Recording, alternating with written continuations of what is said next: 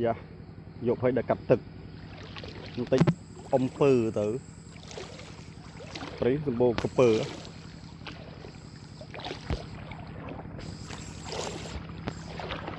លេចប្រហែលថ្ងៃញោមអានេះគឺ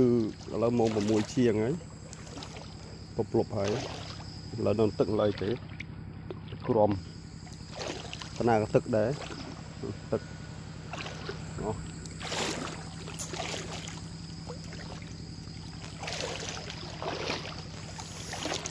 ទឹកស្មើជង្គង់កាលពី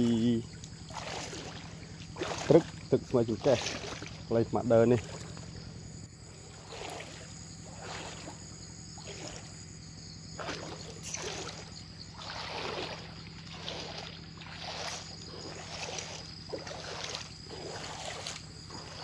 ដល់ហើយយកឲ្យញោមប្រលប់សួស្ដី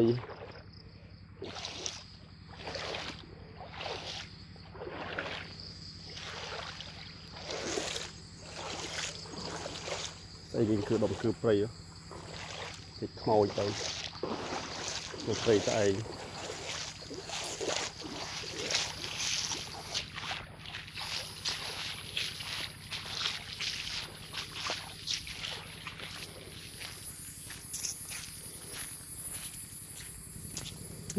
យំមិញពេលព្រឹកមិញលិចស្ពានអស់លើផុសស្ពានបានណានោះក៏អត់អីទេទឹក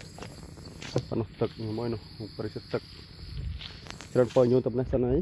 បើយកហើយញោមក្នុងព្រៃផង